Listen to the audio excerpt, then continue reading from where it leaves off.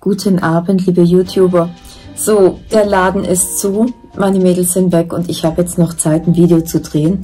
Und man kann vielleicht erkennen, mein Videothema steht schon bereit hinter mir, weil ich habe neue Windlichter bekommen. Da habe ich gedacht, ein Windlicht kann man nicht nur weihnachtlich machen. Da gibt es übrigens ein ganz tolles Video von mir. Da mache ich gleich nochmal den Videolink. Weihnachtliches Windlicht. Das war damals mit Lichterkette. Die ähm, habe ich übrigens auch noch vorrätig und werden von einigen von euch schon fleißig bestellt. Die Lichterketten mit Schnur. Aber heute gibt's ein herbstliches Windlicht. Nach der Intro. Bleibt mal dran.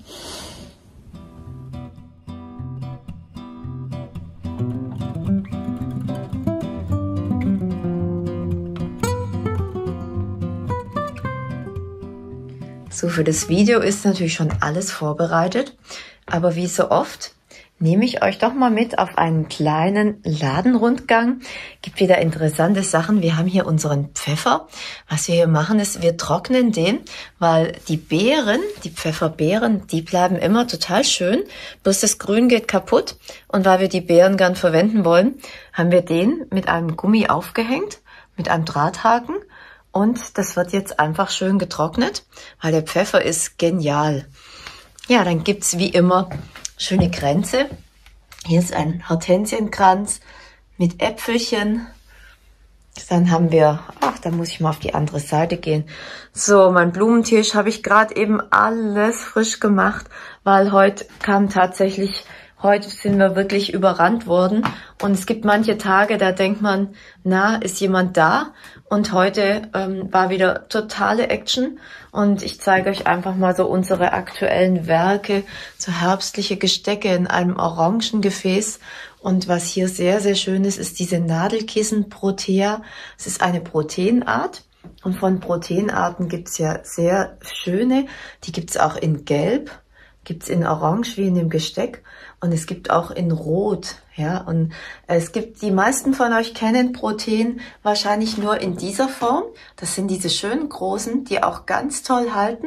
Aber wie gesagt, also das sind auch Nadelkissen Protein. Kommt es auch aus äh, Südafrika, eine Kapflora. Ja, dann gibt's natürlich diese schönen herbstlichen Äpfelchen und wir haben wieder, ähm, wir haben wieder Eriken hübsch gemacht. Hier ist eine Erika, die haben wir dekoriert mit Kastanie, mit Eicheln. Auch Erika im Gefäß, so schön mit Bändern umwickelt. Und hier auch äh, mit Kastanien in einen Steintopf. Und die haben wir hier mit Äpfelchen und so richtig fruchtig dekoriert. Und es war einiges los heute. Es ist ja ein Hortensienkranz hier mit wildem Wein, haben wir den gemacht. Der ist in Wirklichkeit viel grüner. Komisch, äh, manchmal, manchmal macht die Kamera, äh, verfälscht das Licht. Auf jeden Fall kann man diesen Kranz, wenn der, auch wenn der trocknet, den kann man wunderbar ganz lange so liegen lassen, weil der Beweis hier, den habe ich im Laden, dass sowas auch ganz toll aussieht und lange hält. Das ist ein äh, ein Steineichekranz und den habe ich hier schon sehr lang hängen und der sieht, also der macht einen wunderbaren Charme da oben und das ist so eine schöne Raumdeko, die einfach, die man dauerhaft nehmen kann. So, mir wurde gesagt, ich darf die Kamera nicht zu schnell schwenken. Okay, ja, ich bemühe mich langsam zu sein. ja, also hier sind schon schöne, ja, diese Sand, nein, nein, wir sind hier eigentlich wie so ein ein mattes Grün, ja, ein leichtes Olivgrün. Diese Kürbisse, die sind schon reserviert. Gibt natürlich Sträuße, die auch in bestimmten Farben gewünscht waren. Hortensien, die wir auch für Gestecke brauchen, die auch reserviert sind. Und ah, hier ist meine kleine Schatzkammer. Hier habe ich wieder Hortensien für unsere Sträuße, für unsere Arbeiten. Und wie man sieht, sind diese tollen Farbschattierungen. Das ist, ja, die sind wirklich ein, wie, ich sage, es ist wirklich wie eine Schatzkiste. Ich liebe diese Kisten. Und weil sie so schön sind, gibt es da drunter nochmal eine. Ja, die haben wir jetzt erstmal so schön aufbewahrt. Und Blumensträuße des Tages gibt's natürlich auch immer. Sehr schön sind die Sträuße, wenn mittig die Gladiolen so hoch sind. Das macht den Strauß mal, also mein Spruch ist immer Höhe macht wertig. Und hier haben wir, war gewünscht, ein Rosenstrauß mit großköpfigen weißen Rosen. Das ist jetzt tatsächlich, also ich nehme mal meine Hand daneben, dass man das auch sehen kann. Seine Ecuador-Rose, die hat einen unfassbaren Kopf, ja. Und diese Rose hat so einen großen Kopf und die hält auch ganz toll. Die ist hier mit Schleierkraut gebunden. Das wird morgen geliefert. Ja, ich würde sagen, jetzt gehen wir aber mal zurück zur Werkbank, weil, ach ja, und Nee, wir gehen jetzt erstmal nochmal nach Unterfranken zum Thema Pfingstrosen, weil es gibt noch, ja, es gibt Wissenswertes über Pfingstrosen. Ja, es gibt Wissenswertes über Pfingstrosen, was ich immer über diese Pflanzen, ähm, ist immer noch, dass ich da so viel Tolles erzählt bekommen habe. Und man denkt jetzt vielleicht, ah, wer denkt über Pfingstrosen nach, jetzt regnet es draußen, die Blätter fallen. Aber es ist tatsächlich so, dass äh, die jetzt die beste Pflanzzeit ist. Und es gibt eine Sorte, das ist meine absolute Lieblingssorte, die äh, da hat der Versand von den Pflanzen noch nicht mal begonnen. Das fand ich auch ganz interessant und das ist die Sorte Command Performance. Die finde ich mega, mega toll. Da blende ich euch nochmal die Blüte ein und ich glaube, ähm, ich weiß gar nicht, ich glaube, zwei Teile habe ich noch von den Pfingstrosen und ich bin total glücklich, dass ich so viel Wissen äh, bekommen durfte oder so viel Erklärung. Ähm, und äh, mir war das auch früher nicht so bewusst. Ja, Herbstzeit ist Pflanzzeit und wer dann jetzt pflanzt, der ist natürlich im Frühjahr glücklich, wenn er sagt, oh cool, ich habe jetzt diese tolle Pflanze und die fängt jetzt an zu blühen. Und da zeige ich euch nochmal ein Foto auch von ein- und zweijährigen Pflanzen, also so die Babys von Unterfranken auf den Feldern. Ähm, ja, also kommt mal mit und danach geht's zum Videothema.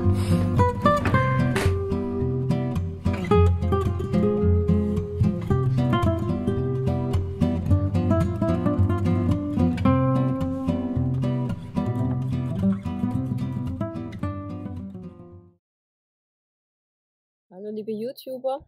Es gibt wieder Wissenswertes von den Pfingstrosen vom Holzeckerhof. Und ähm, ich habe jetzt die Susanne Sauer äh, ist neben mir und wir stehen hier an dem Feld. Und ich habe gerade gelernt jetzt, das sind zweijährige Pfingstrosen. Also so sehen die jetzt aus. Und die stehen hier gell, komplett mhm. ohne Bewässerung. Also, ja, richtig, genau. Also die kriegen nur den Regen vom Jahr ab. In diesem Jahr ja leider nicht so viel. Äh, das war jetzt schon ein bisschen, uns ein bisschen Sorgen gemacht, aber sie haben es Gott sei Dank gut mhm. äh, überstanden bisher. Ja, ja, sehen toll aus. Guck ja. mal, vor allem hier, da ist so richtig tolles grünes Laub dran. Also Respekt, dass die das so schaffen. Das ja. ist echt klasse. Ja, und ähm, wie ist es denn, wenn jetzt jemand bei euch äh, diese Pfingstrosen bestellt? Ähm, kommen die dann, kommen die dann so oder wie sieht dann so ein Paket aus mit, mit den Pfingstrosen? Mhm. Weil ich habe sowas noch nie bestellt. Mhm. Ja, kannst du ja mal machen, Lisa. Aber gerne. ja, also so sieht es dann nicht aus. Äh, wir versenden tatsächlich nur die wurzelnackte Pflanze, so nennt man das. Das ist die Wurzel, die man jetzt hier nicht sehen kann. Die ist unterhalb mhm. äh, der Erde und mhm. ähm, da sieht man dann an dieser Wurzel, sieht man die, die Augen, sagen wir mhm. dazu, die Triebspitzen. Das haben wir in einem anderen Video gezeigt und dann mache ich euch oben nochmal den Videolink dazu rein und da könnt ihr das nachgucken mit diesen Augen. Da haben wir nämlich die Wurzel ausgegraben extra für euch. Genau. Sorry, entschuldige ist, die Unterbrechung. Ja, genau, ist ein guter Hinweis, dass man sich vorstellen kann. Ja. Genau, also wir versenden tatsächlich nur diese, diese Wurzel, ähm, die verpacken wir mit Substrat in, äh, einfach in den Karton und, äh, ja, und versenden die dann. Und dann kann man das eben, ähm, wir haben da auch ein Video im YouTube-Kanal bei mhm. uns, äh, wo das erklärt wird, wie man die am besten dann in die Erde bringt, dass mhm. schöne Pflanzen draus werden. Mhm. Ja. Toll. Ja. Also im Herbst muss man unbedingt schöne Peonien pflanzen. Und äh, ja, hier sehen wir eben so schön die Entwicklungsstadien, zweijährig, dreijährig. Also es dauert schon viele Jahre, bis die Pflanzen dann auch viele Stiele haben und viele Blüten bringen. Es genau. ist man muss nur Geduld haben, dann wird alle wird es wirklich wunderschöne Pflanzen. Ja, ja. Vielen Dank, tolle Infos. Dankeschön. Gerne. Mehr Infos im Webshop. Da zeige ich euch den Link, blende ich euch dazu ein.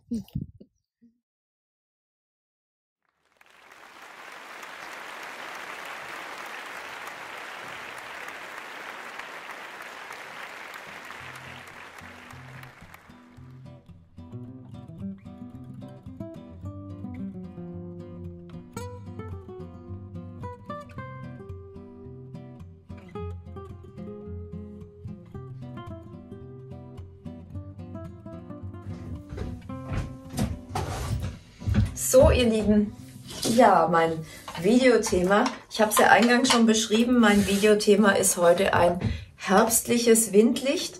Ich finde ja so Windlichter, ah, ich habe dann immer überlegt, soll ich Windlichter für den Laden holen? Und ich bin da auch sehr, äh, ja, sehr kritisch, ähm, wenn Windlichter mir nicht hübsch genug sind. Ich mag die nicht so 0815. Und das fand ich jetzt ganz süß, weil das so, das ist ein Metall, das ist auf Vintage gemacht, hat Holz. Und dann dachte ich so, ach, das kann man mal wieder nehmen. Und ähm, dazu habe ich auch Maxi-Teelichter geholt. Maxi-Teelicht. Warum? Ich mag nicht, dass die nur, nur ein paar Stunden äh, an sind. Und diese Maxi-Teelichter sind jetzt also diese ganz großen. Ja, die brennen zehn Stunden. Ich finde, das ist jetzt mal eine Brenndauer. Das lohnt sich und die kann man auch mal sehr gut, sehr gut einkaufen. Ja, und dann hat man auch gerade das Phänomen, wenn Besuch kommt und das Teelicht ist nach ähm, zwei Stunden schon aus, da habe ich keine Lust drauf, ehrlich gesagt. Ja, und dieses Windlicht fand ich jetzt sehr, sehr hübsch. Dachte aber, ja, mh, hm, ein bisschen verschönern kann man das ja noch. Und dann kam mir so eine nette Idee. Ja, ich habe natürlich äh, gleich mh, hm, fast, naja, ich habe gleich mehrere gekauft natürlich. Nicht nur eins, weil das ist mir ja ein bisschen wenig. So, und ähm, damit ich dieses Windlicht schöner machen kann, habe ich mir eine schöne rote Erika ähm, geholt. Ja, hier zeige ich es mal. Dieses kräftige, dunkle Rot. Dann äh, einen, dazu passend, einen schönen Basteldraht.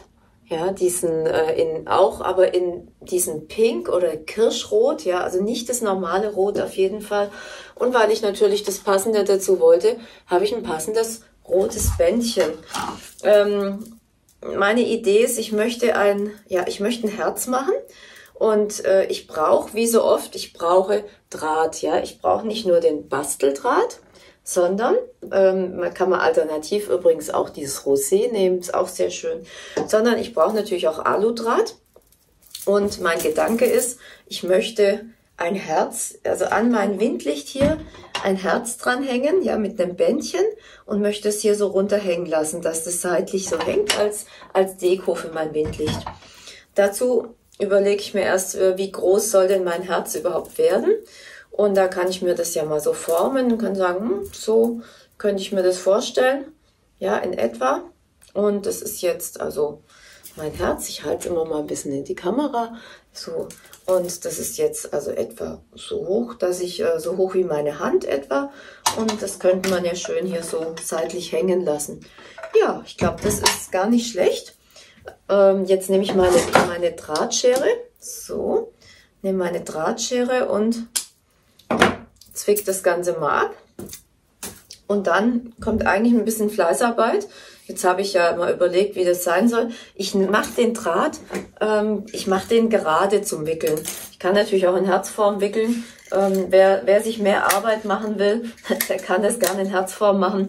Ich mache, äh, ich nehme den Draht gerade und jetzt schneide ich mir, jetzt muss ich leider diese schöne Erika opfern, aber man muss halt auch Opfer bringen für eine schöne Deko. Schneide einfach die Erika ab, ja, mit meiner Gartenschere und ähm, wickel mal. Ich nehme den, diesen schönen, diesen, diesen zartrosa Wickel äh, Basteldraht. Ja, wir nennen ihn eigentlich Myrtendraht, aber äh, er ist auch verkäuflich als Basteldraht und deswegen nenne ich ihn jetzt einfach Basteldraht. So, dann lege ich ähm, die, lege ich die Erika an mein, an mein Draht an und an den Aludraht. Der Aludraht, genau, das muss ich ja auch noch erzählen. Der Aludraht ist ein 2 mm Aludraht und leg die Erika an und wickel schon relativ eng, ja, weil ähm, man muss schon viele um, Umdrehungen machen, sehr eng, weil der Grund ist natürlich, je enger ich wickel, manchmal kann ich auch noch ein Stück zurückgehen, je enger ich wickel, desto weniger ähm, ja, streuselt die Erika dann. Weil ihr kennt es ja wahrscheinlich, wenn die Erika keine Wasser mehr hat, dann äh, fängt die an zu streuseln. Das ist immer ein bisschen blöd, aber nachher gibt's noch einen Trick, wie ich das verhindern kann. Das erfahren aber nur die, die bis zum Schluss gucken. Und es gibt so viele, die auch sagen, das finde ich immer total süß von euch, die sagen, es lohnt sich immer, deine Videos bis zum Schluss zu gucken. das freut mich total, das freut mich mega. Ja, und ähm, das, es gibt ja immer so kleine Tipps und Tricks dazu von mir. So, und jetzt versuche ich erstmal das Ganze zu bändigen und ähm, mache ein bisschen Fleißarbeit. Und damit es für euch natürlich nicht so langweilig ist, mache ich gleich eine schöne Überblendung. Ähm, an, und dann kommt gleich das fertige Produkt. So, hier sieht man jetzt also so schön, wie das, nee, da hinten, das muss ich noch abschneiden. Hier sieht schön aus. Hier, das sieht super aus. Ja, das andere muss noch ein bisschen bearbeitet werden. Also man sieht, ich muss dann auch immer ein bisschen äh, korrigieren oder eben sauber wickeln. Und es geht halt auch nicht so, dass ich so schnell, schnell im Video immer das mache.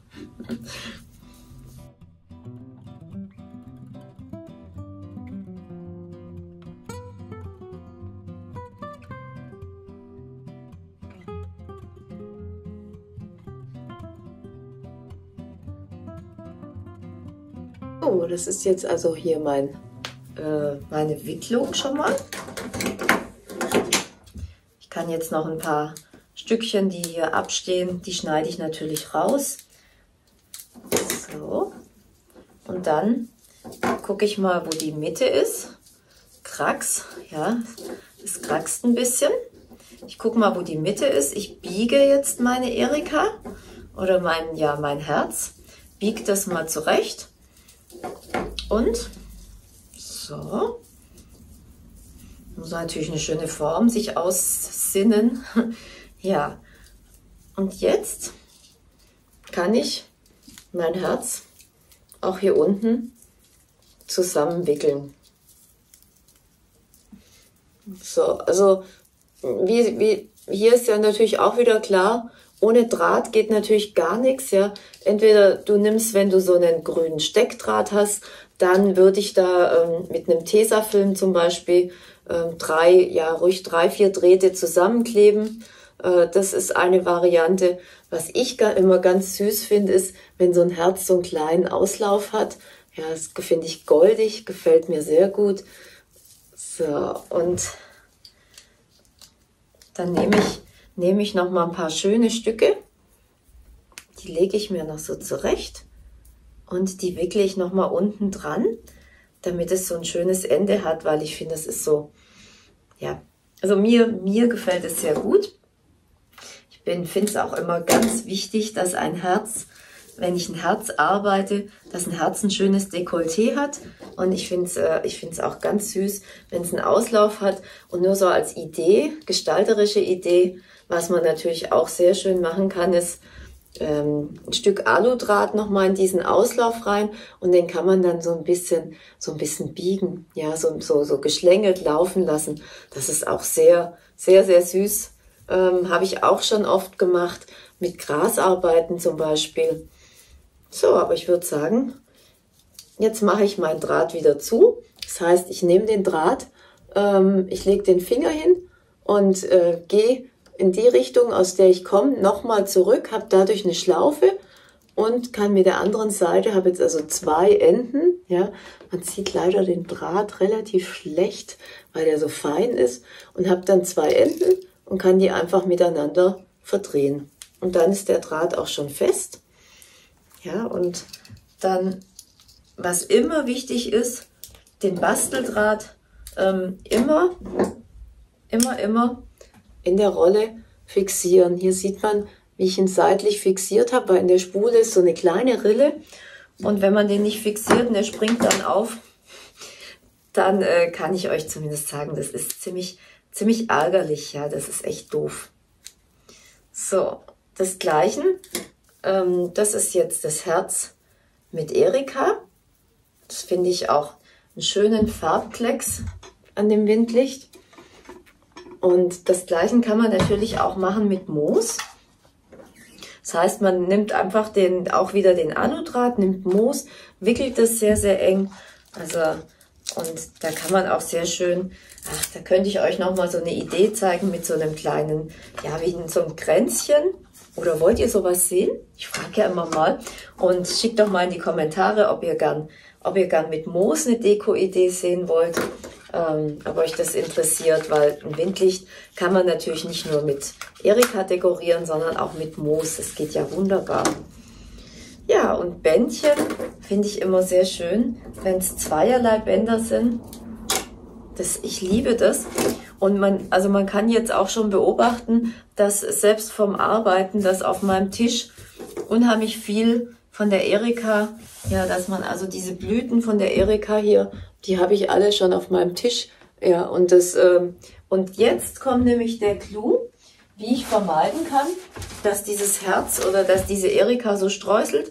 Ich nehme Sprühkleber und gehe einfach mit Sprühkleber nochmal über das Herz drüber.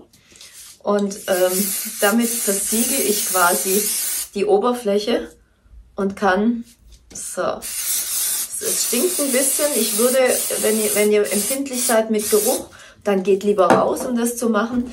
Aber mit dem Sprühkleber verhindert ihr natürlich, dass diese Erika anfängt zu rieseln. Und das ist, das ist dann echt genial. So, es ist jetzt ein bisschen klebrig im Augenblick. Ähm, man kann auch noch ein paar Minuten warten, dann ist der Sprühkleber trocken und dann lässt sich das natürlich ähm, leichter, ja, leichter dekorieren oder leichter gestalten. So, ich gehe jetzt her, mache das Bändchen um mein, ja, an mein Herz. Natürlich, damit das Herz gerade hängt, muss das Bändchen genau in die Mitte rein. Ja. So. Ich nehme mein Windlicht und gehe einfach an, an den Griff oder ich mache es oben dran und biege das nochmal ein bisschen zurecht, dass es da entlang ist. So, und habe jetzt mein Windlicht ganz süß herbstlich gestaltet. Mit ganz einfachen Mitteln. Was man natürlich noch machen kann, ist ein paar farbige Steinchen äh, unten reinlegen. Oder man nimmt einfach ein, äh, ja, ein, ein rot, bordeauxrotes oder roséfarbenes Teelicht kann man reinmachen. Dann hat man auch diese Farbwiederholung. Und mit äh, Bändchen hier nochmal ein bisschen Bändchen nochmal runterlaufen lassen. Ist immer schön. Ja, es ist äh, immer eine tolle Variante. Mache ich jetzt nochmal mit zwei, weil es bringt so eine es bringt so eine Leichtigkeit. Ich finde, das ist immer toll. Ich liebe, ich liebe so farblich, farbig passende Bänder.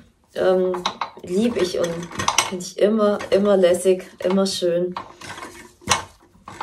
Ja, das war jetzt meine Deko-Idee zum herbstlichen Windlicht. Ich habe eine Erika gebraucht, die ist jetzt komplett abgeschnitten. Und äh, aber das war mir jetzt dieses Herz. Das war es mir auch wert. Und ich bin gespannt, was ihr sagt zu der Deko-Idee. Und es wäre ja eigentlich ein, eine süße Geschenkidee, die auch tatsächlich bestimmt von Herzen kommt.